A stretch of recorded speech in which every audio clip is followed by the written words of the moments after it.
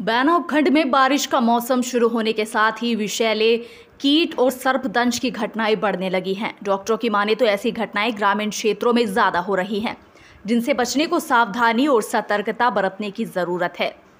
बता दें कि आज भी उपखंड के गाँव महलोनी में अपने पशुओं को पहाड़ पर ले जाते समय एक पशुपालक को विषैले सांप ने डस लिया, जिसे मूर्छित अवस्था में उपचार के लिए परिजनों ने बयाना के राजकीय अस्पताल में भर्ती कराया गया है। जहाँ उसका गहन उपचार किया जा रहा है। अस्पताल से मिली जानकारी के अनुसार सर्पदंश से मूर्छित महलोनी निवासी शिवचरण पुत्र राजा राम गुर्जर है, जिसके पैर में सांप ने डस लिया था। फ़िलहाल पीड़ित की हालत खतरे से बाहर बताई जा रही है।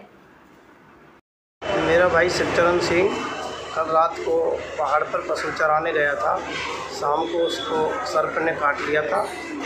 अभी हम उपचार के लिए बयाना राजकीय स्वास्थ्य केंद्र पर लाए हैं। उसका ट्रीटमेंट चल रहा है। अभी तक स्थिति सही है। अभी तक कोई ऐसी बात नहीं।